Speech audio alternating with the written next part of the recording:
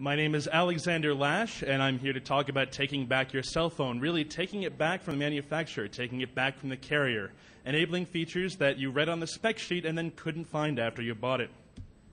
But first, everyone's favorite part the disclaimer. This talk is not an endorsement, a detailed guide about a particular phone, except when it is. About carriers. Okay, well, it's mostly about carriers. It's especially not approved or sanctioned by my employer in any way, and in no way represents any opinion, policy, or stance of theirs. Oh, and more disclaimers. This will probably break your phone. Please keep backups. It will break your contract if your carrier finds out. Your carrier can and will charge you. Do not use BitTorrent on a tethered link. it's funny until you get the bill. And this does mostly target the USA cell market. Apologies for international visitors. Why I'm doing this. Here's a brief history of tethering me and Verizon. Sure, if you buy the data cable. Two hours online of customer service getting a feature added. I need to get the secret code from the manufacturer. And then finally, and this is the current story, oh, that's 60 a month, and oh, it was free on your last phone. But your new phone's hardware isn't compatible. And, um, well, with the free service, anyways.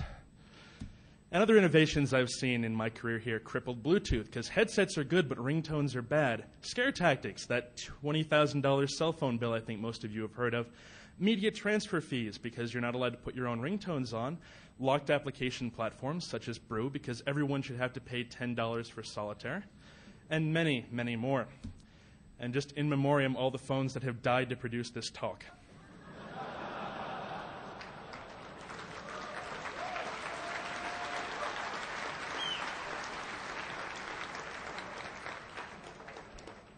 I will pour one out after the show. Anyway, some basic skills that you'll all want to have. Dealing with your carrier. I do get this a lot more than you'd expect. Automated systems don't check for many things, like, for example, the fact that your phone wasn't purchased from the same carrier. Be very circumspect. Talk about faults in features you're already paying for. Be courteous. And above all, don't let them keep talking. Keep going on. They'll just simply cave in. Not that I said that. And again, stress that you need to make calls unless you're not paying for that. Some great online resources. Howard Forums. I will say them say it as many times as I can. It is the best resource to find people like me, people better than me, people who I've stolen notes from to produce this talk.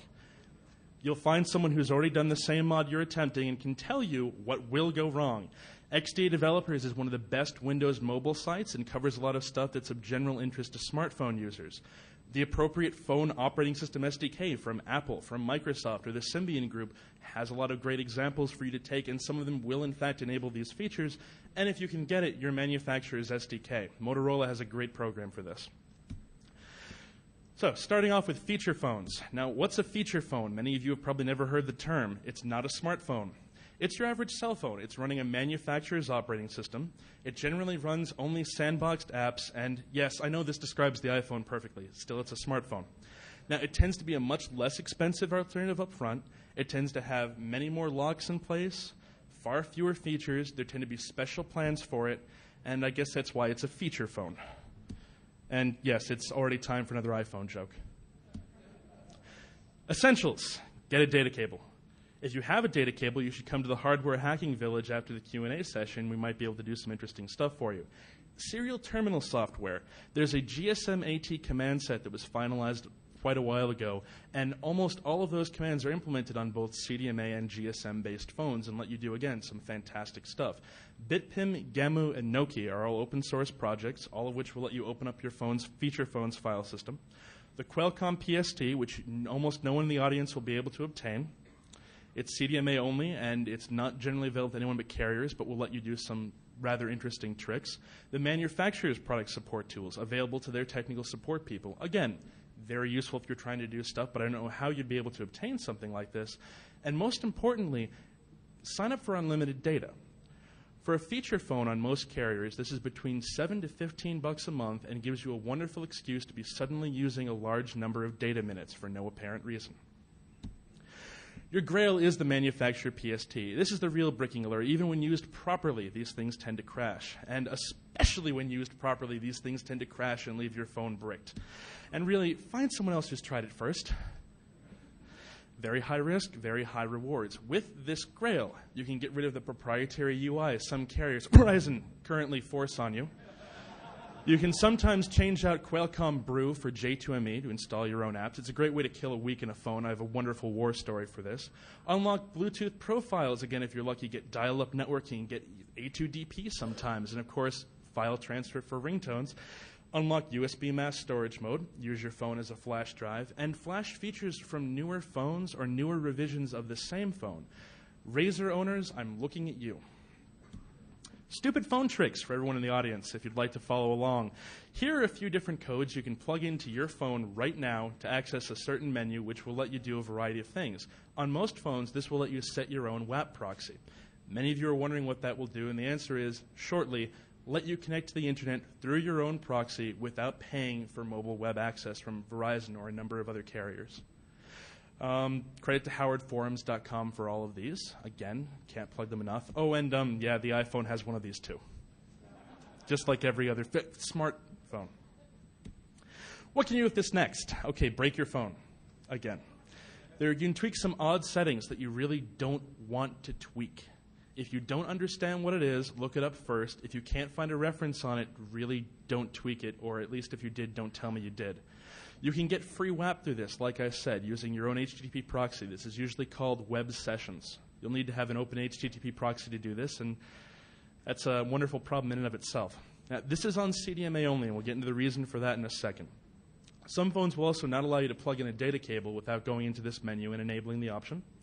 You can sometimes change your NAI, and I will say what that means shortly. And this is the first step towards free tethering. Now, why am I Tethering is something I'm going to come back to a lot, and to me, it's one of the most important features on a feature phone because it lets you connect to your laptop or a Nokia device or a real PDA, get real internet access, get real mobile apps going, and that's what I do most of my research in. This is just what I have to do to get it to work. Uh, tethering is carrier authenticated, requires a valid context. There's different terms for GSM and CDMA there, and how you get a valid one. The easiest way is to buy one. Again, buy that feature phone data plan. It's very much worth it. Or you can kind of find one using a CDMA carrier issue, which we're going to get to again in a second, specifically into this second. CDMA. BitPim is your best ally if you're on Verizon or even on Sprint. Accessing your phone's file system, it's an open source alternative to a wide variety of tools that are difficult or illegal to find or steal, tools that don't exist, and tools that are very proprietary, such as I don't know if anyone's ever heard of GAGIN, Get Around, Get It Now. Show of hands. Anybody? Nice. Old school. This works on every CDMA phone since the VX4400, the first phone I killed. No coincidence there. And support gets better every day. It's an open source project. The most important thing you do with BitPim is make a complete backup of your phone for when you break it because you will. And again, quick uses of BitPim. You can add ringtones with it instead of paying two bucks a ringtone. Add pictures instead of paying a buck to transfer it to yourself as an MMS. Add video, which most carriers don't let you do. Download video to your computer, which again, most carriers don't let you do. Back up your phone, again, the in memoriam slide. And modify system files, which let you do little tricks like turn off the shutter noise on your camera and other annoying features built into your phone. And again, howardforums.com is a great place to find out what to start breaking. Qualcomm PST is yet another breaking alert, even though this is the most important carrier tool most stores use for service programming. You can use the backup service programming, restore it to a new phone after you brick yours, modify your service programming for tethering, really only tethering, you don't want to mess with the rest of it. And it's the only really surefire way to change your network access identifier, the NAI. It can also modify some files that BitPim can't. Here's a brief history of CDMA data which has a lot of great information for everyone. And here's another eye chart. But uh, the most important part is everything now boils down to the NAI if you have a modern phone. And by modern, I mean pretty much in the last three years, which should be everyone here. It authenticates you for data connections. You may have seen your number at vzw3g.com in various places. Now, most phones have two. One's for WAP and carrier services and unlimited access on I honestly have no idea. I guess we've gone to DEF CON 17? Right, so uh, Goons, anybody? I'll just yell louder. So, most phones have two. One is for WAP and carrier services, like, for example, checking in on your account. Unlimited access on this NAI tends to be 10 a month. Unlimited access on the, oh, and of course, most non plan access generally bills as airtime for that particular NAI. That's what lets you download applications from their app store. There's a different one for tethering, the one that you're charged 45 bucks a month to use, and non plan access generally gets rejected. Now, what happens on your phone is depending on whether or not you're trying to tether or whether you're using an on phone carrier service, it will pick from one that's stored in its flash memory. And the trick is simply to use Qualcomm PST or your phone's debug menu to change this. And I was going to do a demo and was told that by no means should I possibly do a demo. Thanks to my company's legal team, but um, I will be at the Hardware Hacking Village and we're happy to show some of this at the Q&A. Anyway, do we still have a um,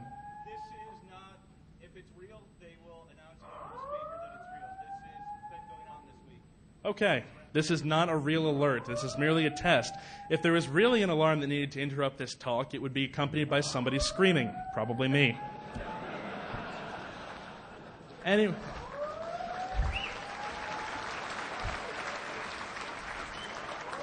Thanks, I'll be here all afternoon. So, getting on to GSM, which is basically the. X, yeah, there we go.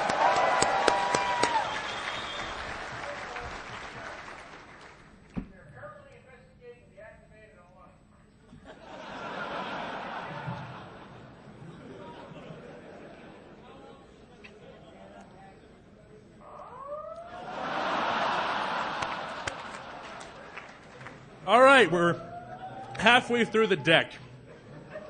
Moving right along. GSM. For the most part, what I've said about the file system is the same. The tools you will access will be different. What makes GSM different is the fact that GSM data wasn't an accident. There's a few reasons for this. Most voice plans, therefore, have per kilobyte charges for data access, whereas on most CDMA plans, it's simply billed as airtime. GSM phones tend to be sold in freer countries than this one.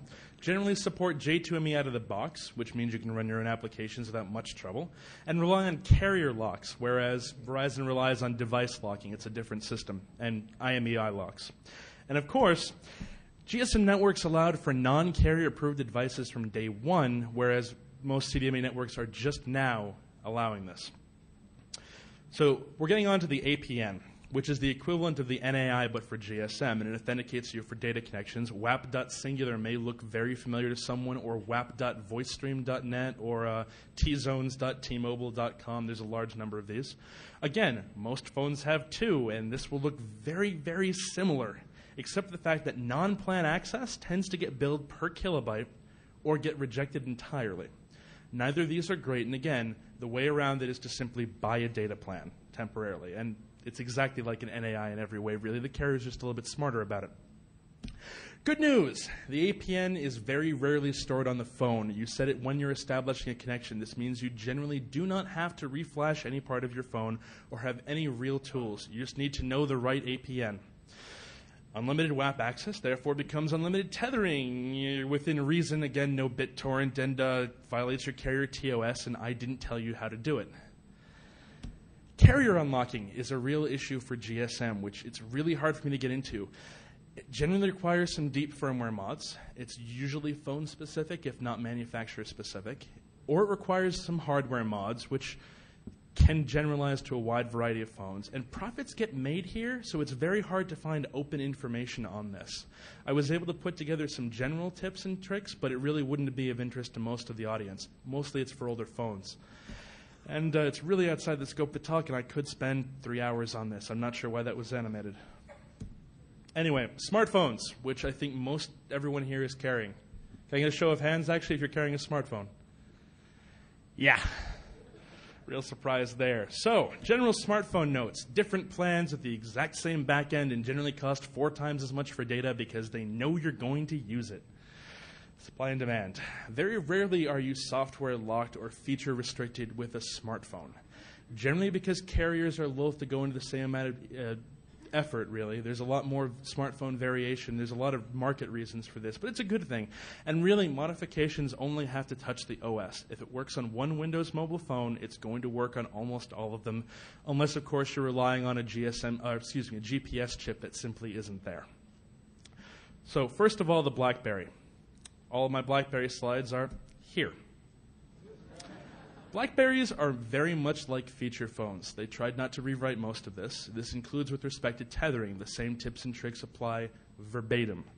They generally come with fairly few locks. It's a recurring smartphone theme.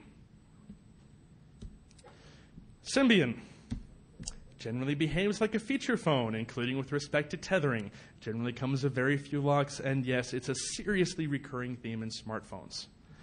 Symbian devices also tend to not get sold here, and carriers outside of the United States take very different policies. So, again, Symbian phones, not a real issue to tether with. Windows mobile devices. Your best weapon here is actually the official Windows Mobile SDK. To restore features your carrier left out, this very commonly includes the Bluetooth dial up networking profile. If you simply take the bits from the SDK and put them on your phone, you have tethering. You can also use this to add features to your phone. For example, there is a SDK example, which is a pseudo GPS driver, which will take a variety of different pseudo GPS sources and turn them into a regular NMEA compatible GPS that can be consumed by TomTom or your particular GPS navigation solution of choice, or any of a number of different applications, really. And finally, the iPhone which looks like a smartphone, looks like a feature phone, and frankly, it's too early to tell how open it will get. And um, also, I'm kind of a fan. The most important thing about the iPhone, which I hope everyone's heard about, is the jailbreak. I'm actually currently re-jailbreaking my phone during this talk. This is why it's plugged in. Run again, run your own community apps. There's no Apple oversight or restrictions, and there's no documentation whatsoever. Working on that. Carrier unlock on the iPhone has been established well for the 2G iPhone. Still being researched for the 3G iPhone. Some of it sounds very promising, but nothing is out there yet. And uh, there's, of course, one smartphone platform I guess I'm overlooking. There's actually a few Android. And I wanted to have some stuff about Android, but really there's no hardware. There's nothing interesting for me to talk about yet. It's a very interesting concept as far as taking back your own cell phone is because you're going to have full access to a variety of things that traditionally neither the manufacturer nor the carrier ever wanted you to touch. And in some ways, that's a good thing. In some ways, that's a terrible thing. Uh, Google's rollout of the SDK has also been very interesting if you've been following that. And I really look forward to seeing what impact, if any, it's going to make. And resources here. Again, howardforums.com. I'm, I'm sorry. I'm sorry. Anyway, Howard Forums, XDA developers, the iPhone dev team, and the official SDK examples are all some fantastic places to find out all the stuff that I've been talking about today. Get the actual details. And I'd like to say thanks to a few people, all of whom are actually in the audience. I'd like to thank Abent, who's uh, sitting there in hiding with long hair, or he just couldn't find a seat. Shardy and Dave G., who gave me the initial idea to give this talk. I'd like to thank Totenkopf, who's presenting on Sunday, and you should all go. And you all should have gone to Ferdinand's talk, which was two hours ago. And I missed it because I was putting together this slide deck. And uh, my friend Max Falco, who doesn't know it, but he is going to be presenting next year, whether he likes it or not. And uh, yeah, this is the first time anyone told him. Now, you might think, wow, he ran through a shit ton of slides really quickly. And the answer is yes, I did. And the answer is the most interesting part of this is the Q&A. Because you all have specific phones or you have Motorola questions or Nokia questions, many of which I hope to be able to answer right now for you. All this is great general information, but really everyone wants to know what they can do with their phone. Same thing I did at ToorCon, People liked it, and I'd like to now open the floor for questions. You, sir.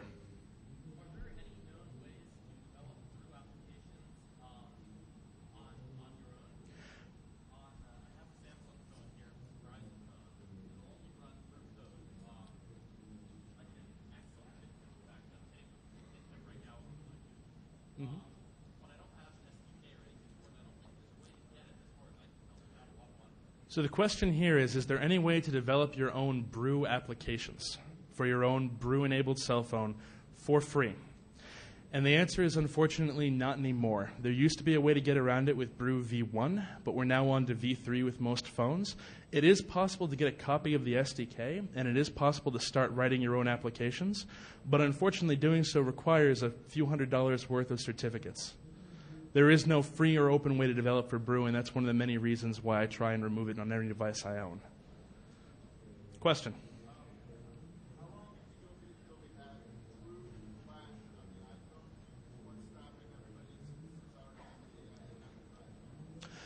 The question here is how long do we expect it to be for the, until there will be true flash, as in a flash virtual machine and player, on the iPhone, and what's currently stopping? Well, the answer to what's currently stopping it really is Apple more than anything else. I understand from Adobe they've put together prototypes, and there's a wide variety of devices that run similar operating systems, like um, the Nokia 770, 800, and 810, all have flash players. And really, Apple wants to ensure a certain experience of the iPhone, and frankly, most Flash apps would run very poorly on it, leading to crashes and hangs and other things that Apple is very zealously against.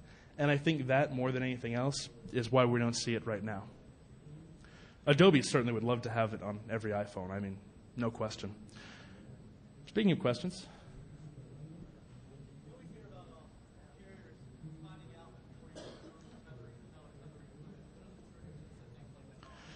you always, oh, sorry, sorry. You always hear about people who get caught using tethering without a tethering plan, and what sort of triggers will set that off. Every carrier has a built in limit to their feature phone's unlimited plan. In general, this is about 5 gigabytes. Uh, I know that is that for Verizon. Some international carriers go down to 1 or 2. Uh, Rogers, for example, is 1 gigabyte. And really, what will get you caught is going over that limit. Almost nothing else will. BitTorrent will also get you caught for going over that limit because you're going to have upload and download that looks much more symmetric than it should be. Using a large number of encrypted services, again, most of which don't run on phones, can be a red flag, but for the most part, you're a needle in a haystack if you're not doing anything that goes over that 5 gig limit. Question back there.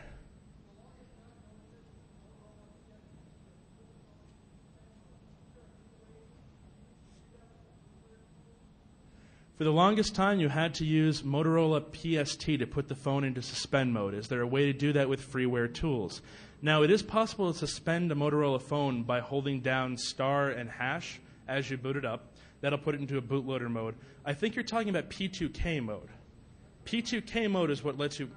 Okay, P2K mode is on a Motorola phone and has been for the longest time. Will let you access almost everything on the phone, reflash settings, reflash the firmware. And Motorola actually has released a freeware application called Motorola Software Updater, which, when used properly or just used period, will put the phone in P2K mode, at which point you can turn and use apps like P2K Commander to browse the full phone file system or um, P2K Flex to reflex the uh, settings in the firmware. Is it possible to do that from Linux? And the answer is not really. I got it working with Wine once, but it's you can do it through a VMware Player virtual machine with the proper connections. Easiest. I'm sorry, I can't quite hear you back there.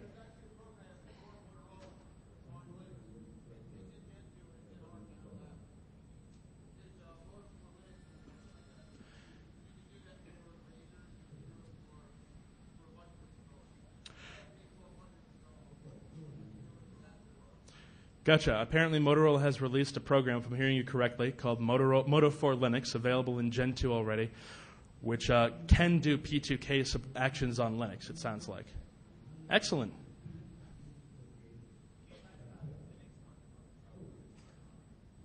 I'm sorry, I can't hear. Can you come up here? Linux on the smartphone? Um, you mean like the Limo Collective and so forth? Again, without having hardware in my hands I've been able to break and play with, and without a community, I don't have a lot of information on that. I'd expect it to work the same way that Android's going to work, insofar as with this much deep access into the kernel, into the SDK, into things that previously you weren't able to touch or couldn't touch without expensive tools, we're going to see some very interesting applications in very, very open phones. What about actual hacks to put Linux on phones? I'm not aware of any that are really usable. That is, I mean, my criteria is if I can't use it as a phone afterwards, I can't really install Linux on it.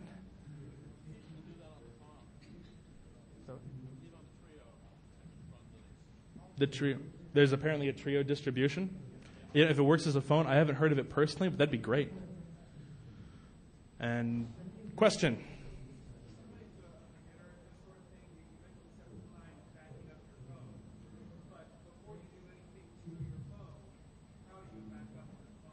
Uh, before you do anything to your phone, how do you back up your phone? And the answer is I mean, before you start writing things back to the phone, make a backup. Tools like BitPim are entirely safe to use if your phone's on the supported list. If it's on the supported list, it's actually been physically tested and tested fairly rigorously. And really, for read operations, you're not going to have any trouble. It's when you start reflashing your phone that you're going to kill a memory controller and have to have a very awkward conversation with Verizon technical support. Question.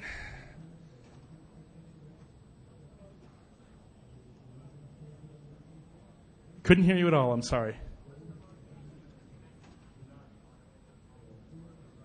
What is the most interesting thing I've seen done on a Windows mobile smartphone? Quantify interesting. I've seen a browser on a Windows mobile smartphone that doesn't suck. That was the most interesting thing I've seen on a Windows mobile smartphone.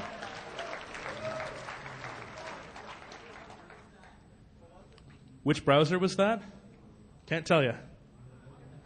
Sorry, I suck. I know. You've heard of it, possibly.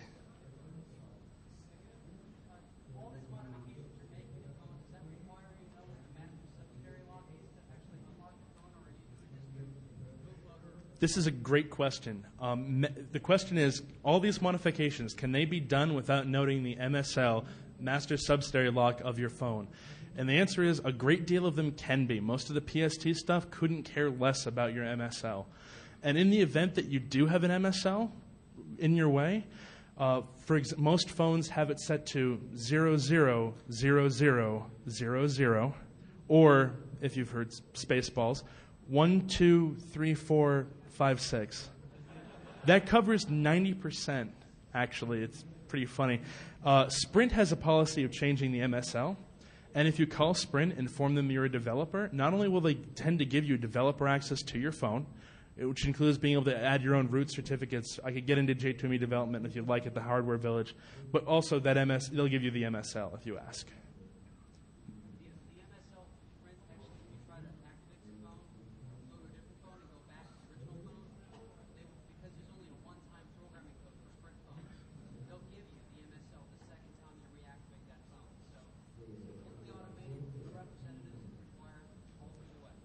The process for Sprint has now been improved to the point where it's entirely automated, done all through the web, and requires no interaction with a human being. Just requires a little bit of swapping. This man would be a good one to talk to about Sprint. I can see.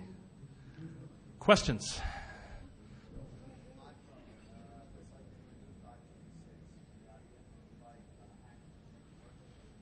I know that the removal of IPv6 from the iPhone is a very, very. There's a lot of people ticked off about that. Um, there's a lot of people ticked off about as far back as 112, they removed some hooks that were looking like we'd be able to put our own kernel extensions on the iPhone. I know there's a lot of people, myself included, who are working furiously on that. Mostly people more qualified than me to modify a kernel on a system I've never ever used before, but still, I know people are working on that actively. Shardy. Shardy would like to know how to make free phone calls, and because I knew he would ask this question, I'd like everyone who has a spare moment to go to tinyurl.com slash S-H-A-R-D-Y. That's right, tinyurl.com slash Shardy. Question.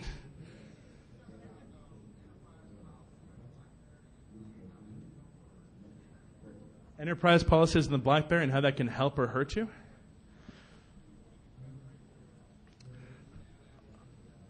So, enterprise policies in the BlackBerry, I have not seen a lot of them actually put in place.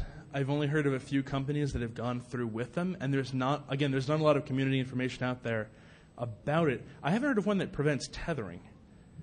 Um, application install you can circumvent with the proper PST, uh, especially if you're on CDMA. Quill wouldn't be a huge deal. But beyond that, I don't know what to tell you. Just again, I'm limited to what I can get of the community if I can't get the hardware myself. And questions? Oh, yeah, totally. Sorry, I've been neglecting that side. I'm sorry, I can't hear over you the speaker back behind me.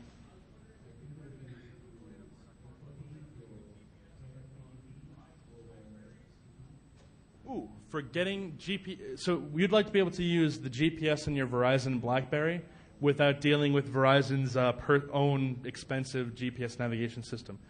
I know of a couple projects that have started on that. They had some progress and then stopped. I'm sorry. Problem with the community.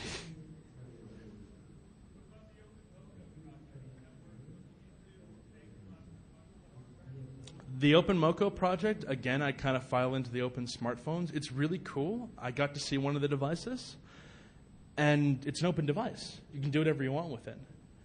It's an open device that's expensive and has some hardware limitations, and whether or not your carrier will ever let you activate it is another question. But again, until they start getting them into people's hands, it's really cool, but beyond that, don't know what to tell you. Way in the back.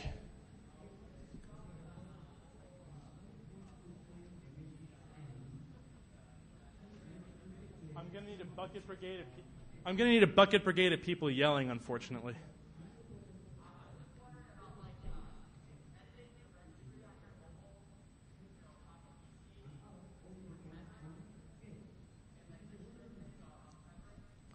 So, editing the registry on your Windows mobile device in order to enable tethering.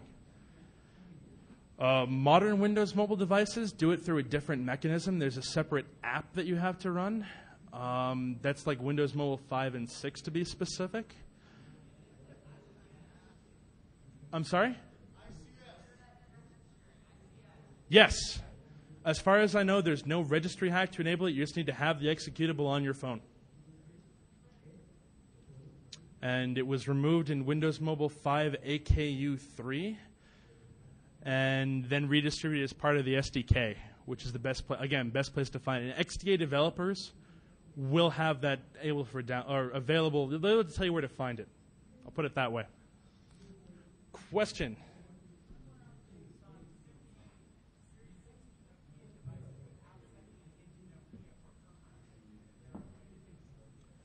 Updating S60 devices without sending it into Nokia for updates, the firmware. I had heard Nokia's got their they've updated their software updater to allow that. On the older one, the older ones, I can't help you with. I think unfortunately you're stuck sending it in. Yeah, Nokia kind of phased out support for the early devices fairly rapidly, and I'm really curious to see what happens now that Symbian's open source, given the number of people who don't update their devices, can update their devices, have never heard of the Nokia software updater, and you know we're going to find exploits in it. We're good at that as a community. Question. Palm, yeah, th- those from Windows Mobile, right? So on the original Palm Treos, for the most part, Palm. Say what? Yeah, Palm OS based Palm Treos. From what I, for the most part, I wasn't aware they locked down too much on those. I know that tethering again is just an installable app, and that's all there is to it. Uh, if you go to Howard Forums, they're going to have a forum for your specific model, and it will have how to do that. Best recommendation I can give you. Question What company do I work for? Microsoft. See, I was worried about a lynch mob, but.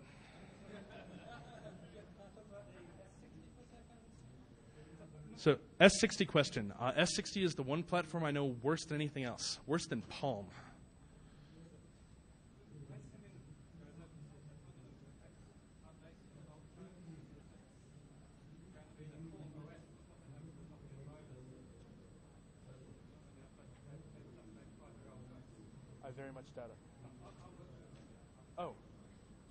Oh, okay. So do you want to actually tell, say that? Okay.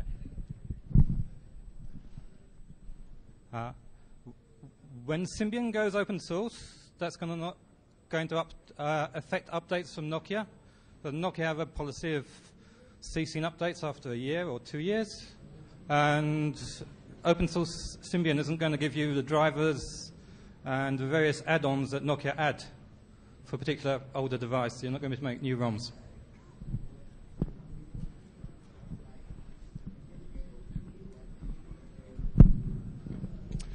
Rep from Symbian, right in the front.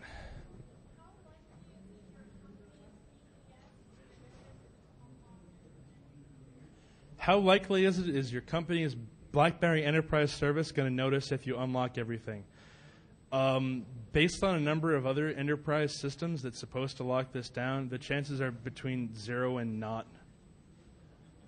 I've never heard of anyone ever, except the fact of walking up to the head of IT and saying, "Hey, look, my pin lock's disabled."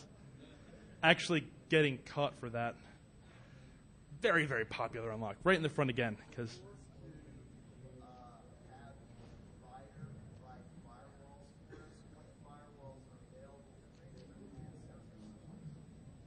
firewalls actually running on the handsets themselves.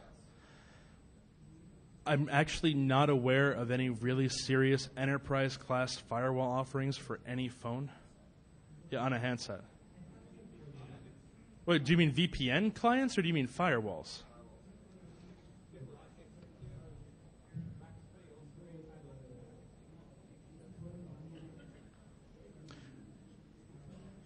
Anyway. Does does he got your? Yeah. I mean, I would love to have a firewall on my phone personally, but I know for a fact on the iPhone they've disabled uh, IPFW and no one's cracked kernel extensions quite yet. Big project though. Question. Any chance of AT, A2DP, uh, Advanced Audio Distribution Profile, getting anywhere on the iPhone? I really hope so. I have some nice Bluetooth headphones. I'd like to use them. The reason why not is because, as far as I'm aware, there's nothing on the iPhone that's particularly good at decoding A2DP or, or excuse me, decoding or encoding SBC subband codec. And as a result, you're going to see dramatically shortened battery life. I mean, I was working on a project for the Nokia Internet tablet devices. They run Linux to get that working. And until we were able to get it onto a DSP chip, which the iPhone simply doesn't have, the battery trade off and CPU trade off was just unacceptable. Uh, you couldn't even really encode MP3s in real, excuse me, decode music in real time or video and listen to it over a Bluetooth link. And I think you're going to have to stick with a dongle for the time being. Question.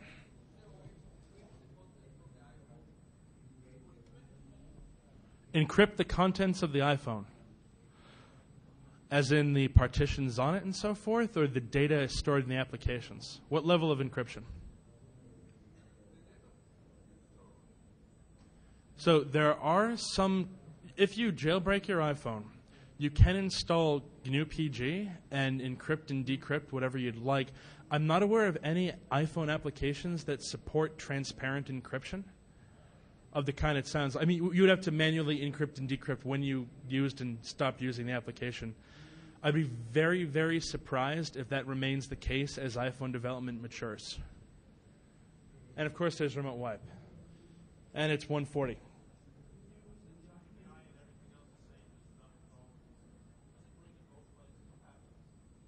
Ooh, if you set the IMEI, if you if you clone a phone, basically, if you clone all of the settings on a phone, what happens? And the answer is it depends on the network, and it's a really terrible idea because for the you're going to get cell registration. You're going to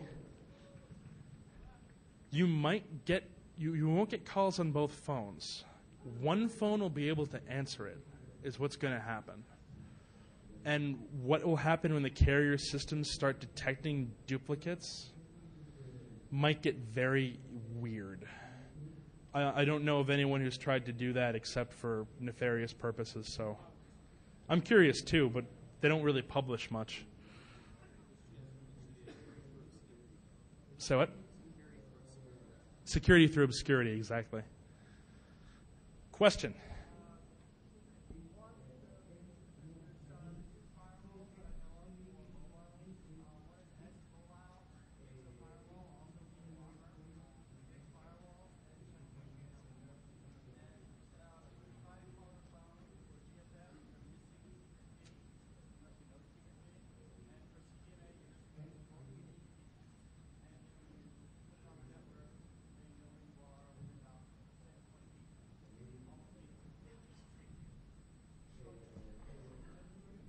I actually know of a tool that can pull the A key off of a variety of CDMA phones. Not that I'd mention it by name. Um, but yes, cloning doesn't really work. And even if you were able to perfectly clone a phone, the system wouldn't accept it. It would pick you up fairly quickly. And again, there are some mobile firewalls out there, and what I'm hearing is that they're not terribly useful yet. Yeah. So you just better hope that your phone is entirely proof against any attack with any sort of firewall of any kind.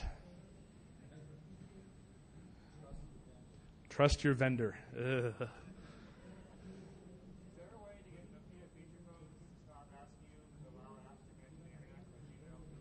Is there a way to get Nokia feature phones to stop asking you to allow certain features to be used? Like, for example, um, being able to access the internet or accessing location information.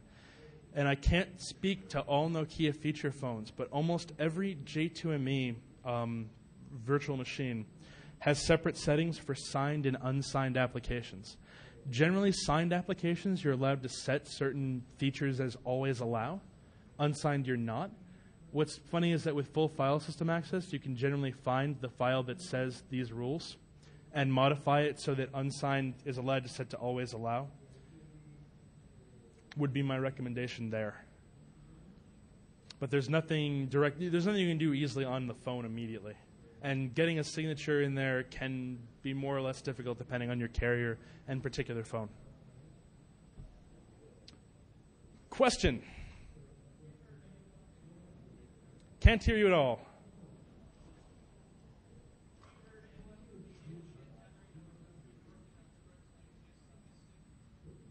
Have I heard of anyone getting Bluetooth tethering working on Samsung's Instinct? I have not heard of that yet. I would say Howard Forums probably already has a detailed how to with screenshots. It's kind of what they do. Um, Instinct, again, too new for me to have really covered it here. And I only really cover the iPhone because I own one and can break it whenever I feel like it, which is frequently, actually. Question.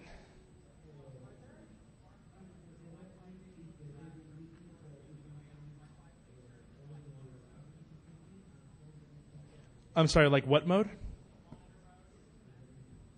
Monitor mode on a Wi Fi enabled smartphone.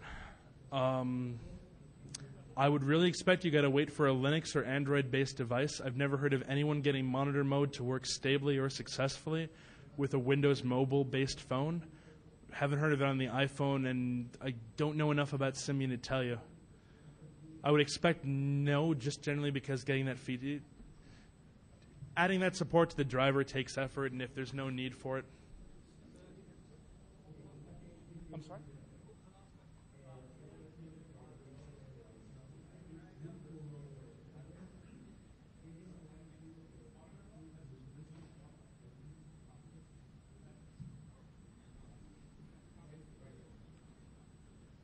Can't get to the radio on Symbian phones, is what I'm hearing.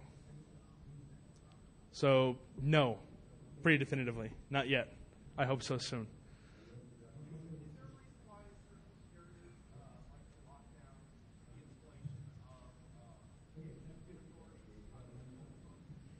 Is there a reason why carriers like to lock down the installation of new certificate authorities on their mobile phones? Oh, God, yes. And the answer is money. Because if they're the only ones who can certify applications for your phone, they are the only ones who can provide that certificate that actually lets you get through and use apps without clicking, yes, I'd like to allow it to access the internet, or yes, use my location information. It is purely a profit driver. Generally, the installation of certificate authorities, once you have full file system access, tends to not be too difficult in my experience. Your mileage may vary. I haven't done it on a large number of phones, mostly Motorola phones.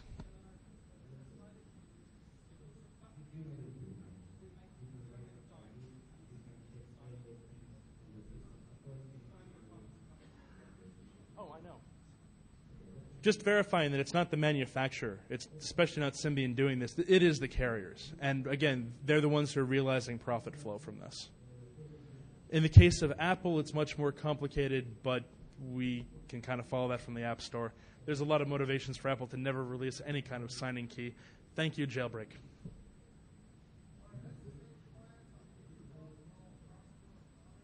Oh, yeah. Uh, SSH clients on feature phones. MidP SSH, um, very mature, very stable. Use it all the time. Got a lot of great features. I mean, again, you're still using SSH on a phone. It's never going to be a very pleasant experience, but I was able to set up macros and use Pine perfectly. Um, MidP SSH, good stuff. Runs wherever J2ME is available. Runs on Blackberries, runs on Windows Mobile, runs on. You have a question in the back.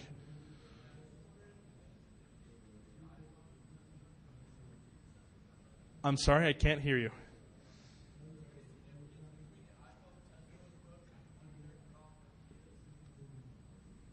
Is there any significance for the iPhone test mode code being one character off of Nokia's?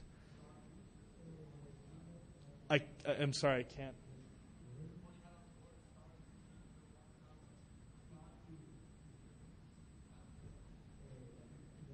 I still can't hear you, but if I got the initial question right, yes? Kinda? All right. I don't have a tinfoil hat, so I can't tell you. I think it's pretty funny, though. But I mean, Motorola's is pound zero setup star. I wouldn't be surprised to see that duplicated. Question, the, or actually, question the back. You got one.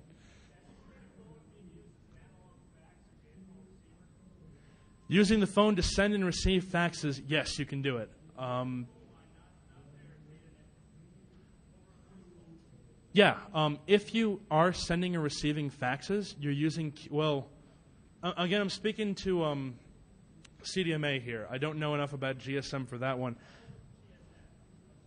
That one I can't field for you. On Verizon, excuse me, on CDMA networks, that does go over basically analog, basically over 2G and works as an analog. You basically use as an analog fax modem with the right software.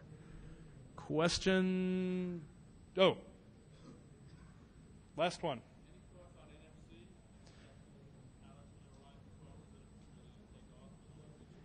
Any thoughts on NFC? I, am not recognizing the acronym off the top of my head.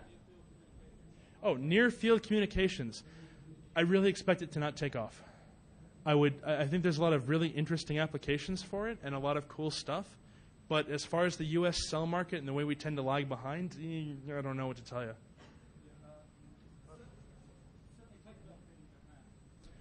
In Japan, out of the country, yes.